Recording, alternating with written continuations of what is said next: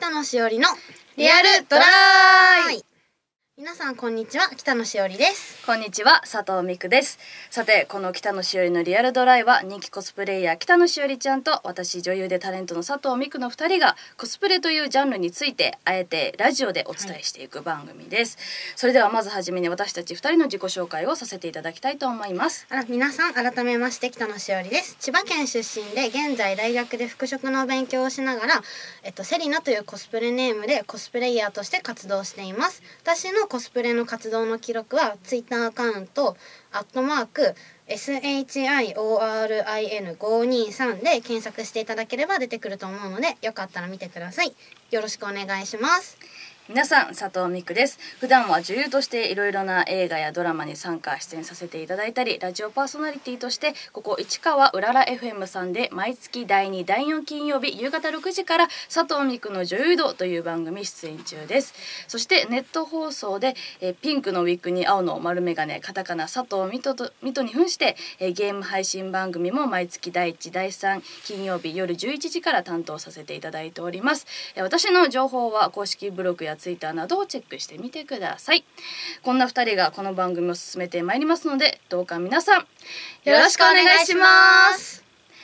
それではまず一つ目のコーナーは乙女ロードナウのコーナー。イエーイえーこのコーナーは私佐藤美久がサブカルチャー特に不女子を中心としたアニメオタクの聖地と呼ばれる東京池袋乙女ロードのトレンドについて勝手に潜入しお。その様子や変遷について毎月リポートしていくというコーナーです。ちなみに乙女ロードを簡単に説明させていただきますと東京池袋のサンシャイン60の西側の通りのことを言います。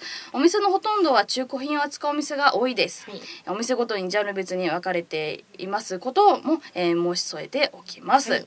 えーまずは、えー今月行ってみての、まあ、全体的な感想としては、はい。まあ、前回ご紹介させていただいた、はい。しおりちゃんも好きなね、はい。えーヒプノシスマイクのグッズ。熱いですね。はい、そして私が今密かにねハマっておりますバナナフィッシュのグッズもね増えておりました、えー同人誌やビール関連がある店舗では去年の、えーコミックマーケット95の、えー商品やビール関連の商品はすごく増えておりまして、中にはなかなかお目にかかれないレアの商品もあって一人で密かに興奮しておりました。はい、さて今回はちょっと、えー趣向を変えまして、はいいろいろな商品を見ていて「何これ!」とびっくりした商品レア商品をですね私の独断と偏見で3位から1位まで、えーはい順位をつけさせていただきましたので早速発表させていただきます。どうぞはい、まず第3位は黒羊襟巻きソックスホワイトです。うん。こちらは、えー、黒羊と、えーはい。フットウェアブランド、い。襟巻きソックスさんとの、えーコラボ商品で、はいはい。ボタンを閉めるシャツ型のソックスで、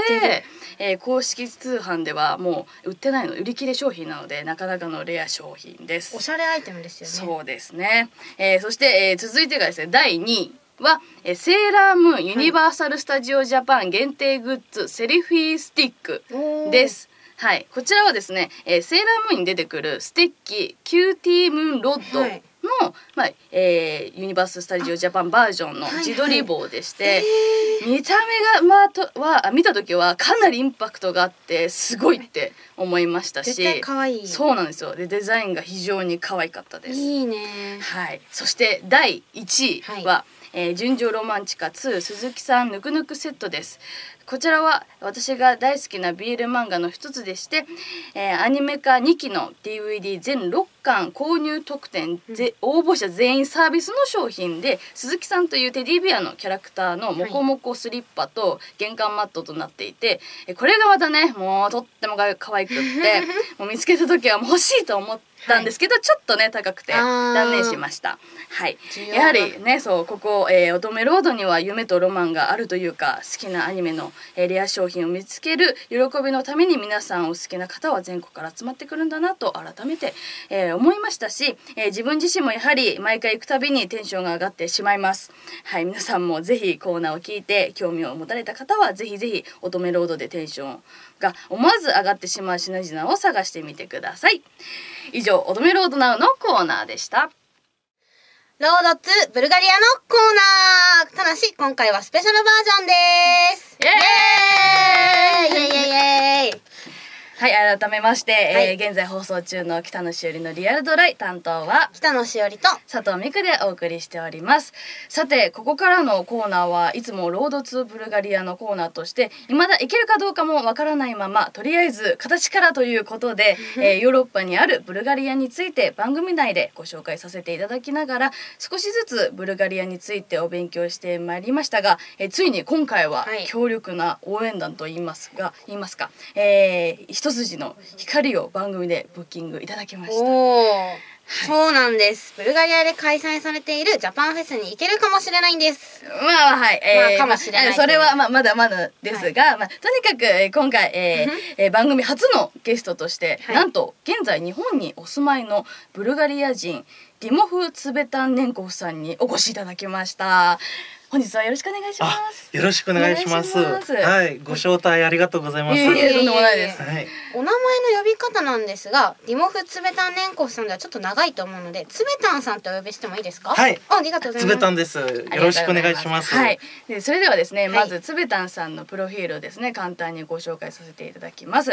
えーディモフ・ツベタンネンコフさんはブルガリアのソフィアのお生まれでしたが、えー小学校6年生の時にお父様のお仕事の関係で新潟県に引っ越されました。その後、えー中学、高校、大学も途中までは新潟の学校でなんと日本人と同じカリキュラムで勉強されてらっしゃいました。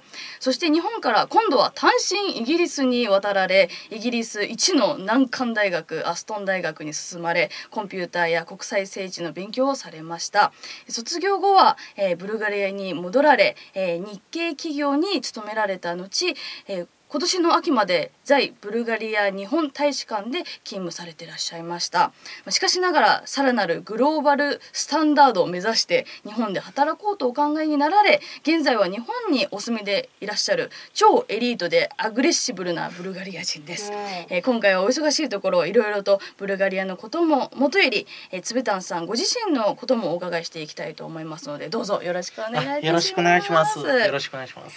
えーまずはですねあのお打ち合わせでお伺いして非常にびっくりしたんですけれども、日本語がとてもお上手なのですがあの転校された時は大変だったんじゃないですかね。もうすごく苦労しました。もう日本の言葉、文化とか生活習慣も一番大変でした。うんはい言葉以外に日本の生活で一番苦労されたこととかありますか？はい、やっぱり言ったようにあの生活習慣と考え方と文化ですね。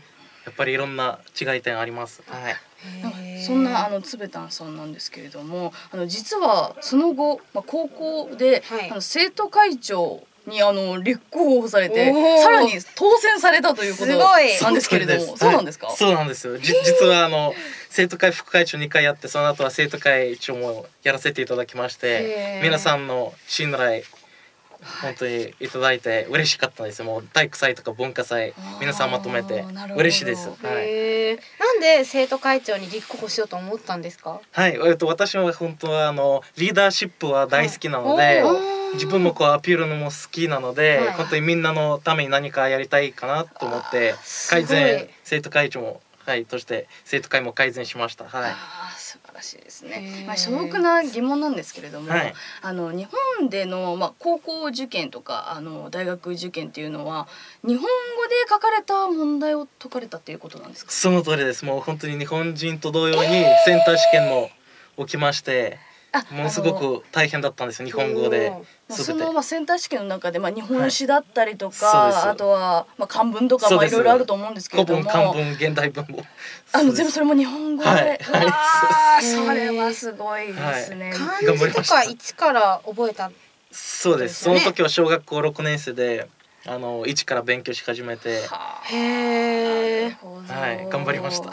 コツコツで。コツコツあの漢字とか覚えるのも日本人我々日本人でもなかなかちょっとって思うね。時がね。はいあるけど。そうすごいですね。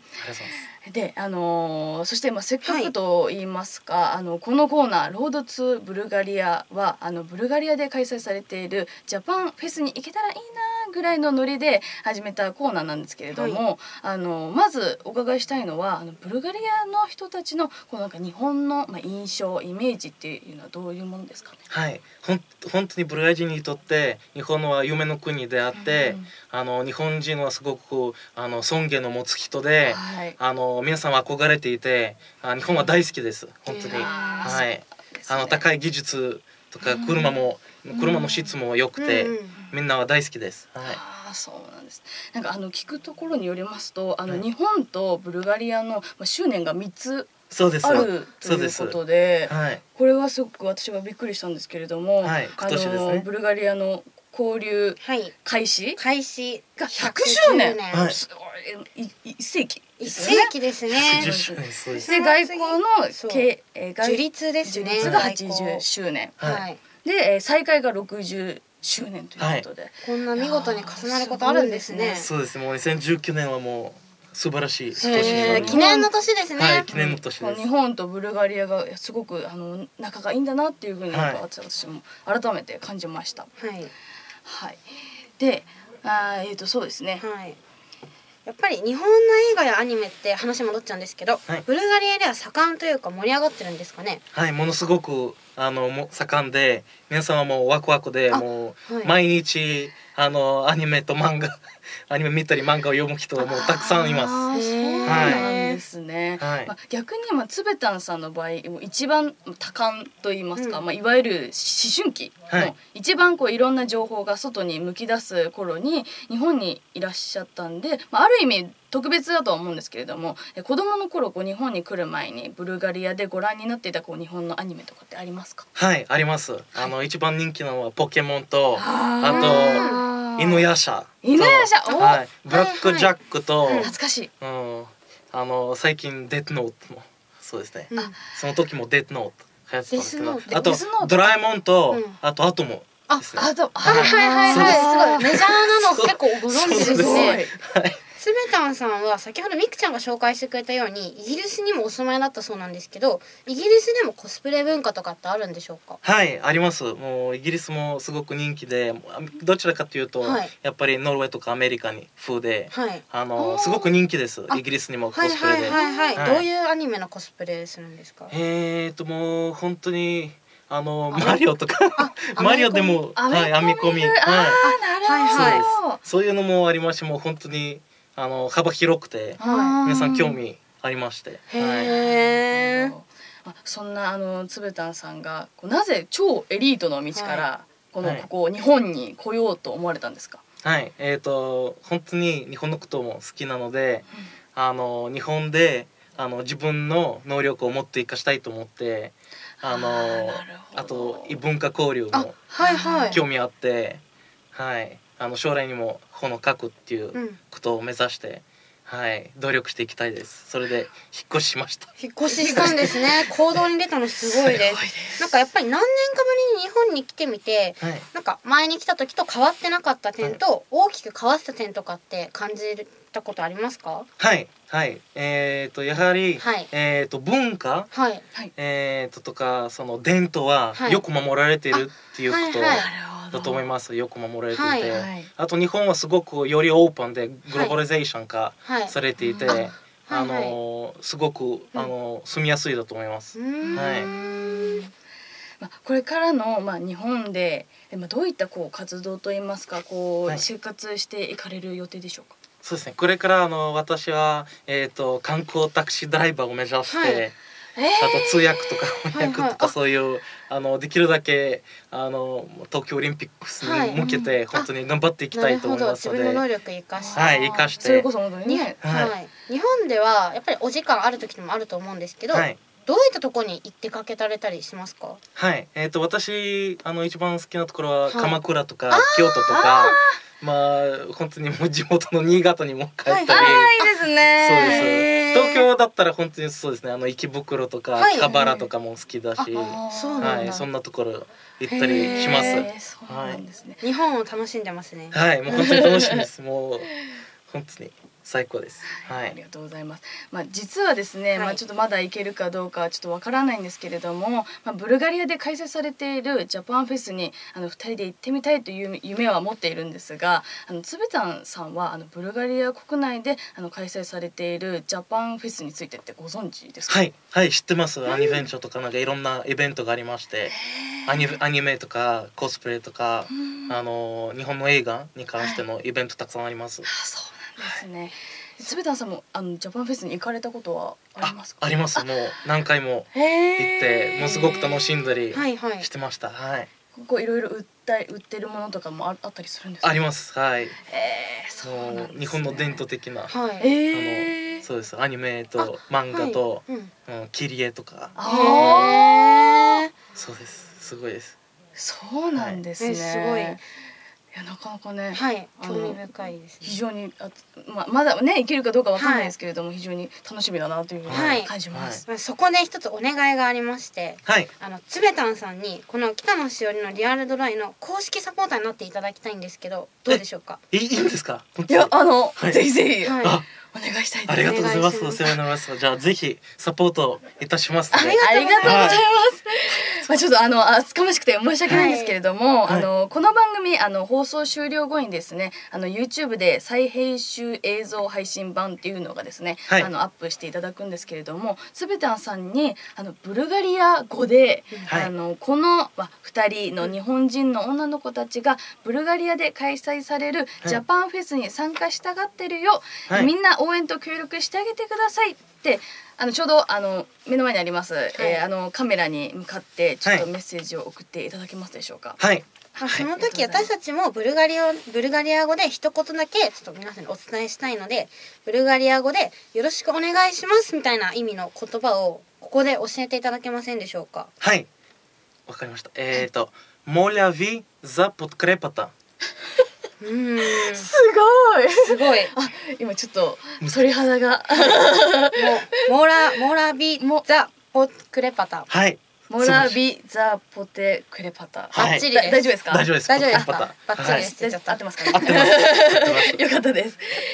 ではですね、はいえーそれではあのつべたんさんお願いしてもよろしいでしょうか。はいお願いします。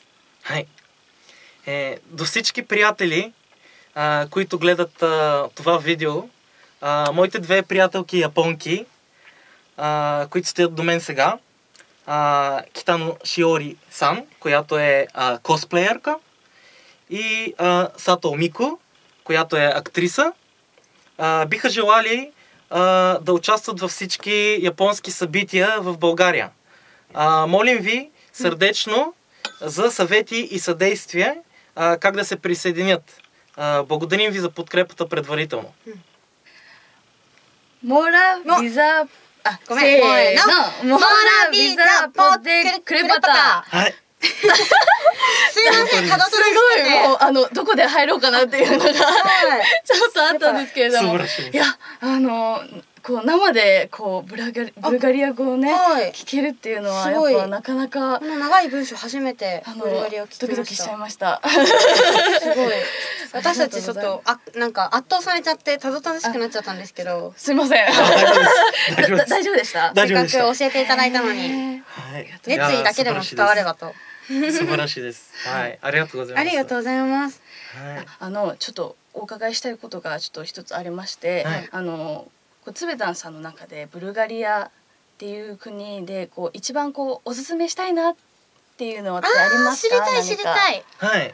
ブルガリアっていうと、まはいあ日本だと本当はヨーグルトなんですけど、はい。もう本当にあのヨーグルトだけじゃなくて例えばブルガリアのワインとか、はいバラの香水とか、あとお風呂のために使う入浴剤バラの香りもあって、へあとオリーブと蜂蜜が大人気なのであそうそうですよだからぜひブルガリアにあの一緒にはい。行って、はい。あの例えばバラの谷ブルガリアの真ん中にあるバラの谷とか、バラの谷？バラのあの収穫あええー、そういうの。もできるんですか？できます。ー。そういう経験も、そういうバラの祭りは、はい。あの毎年5月にはい。ありますので、へー。それが一番素晴らしいです。わそうなんだ。5月が一番バラが盛んっていうかそうです。綺麗に咲いてる時期。そうなんです。はい。へえまあ、私も私たち、えー、佐藤美久と,、えっと北野しおりちゃんが、はい。あのブルガリアフェアっていうのをですね、あの日本でああのはい。あの一緒に参加参加させていただいて、あのはい。ブルガリアの料理だったりとか、あとは、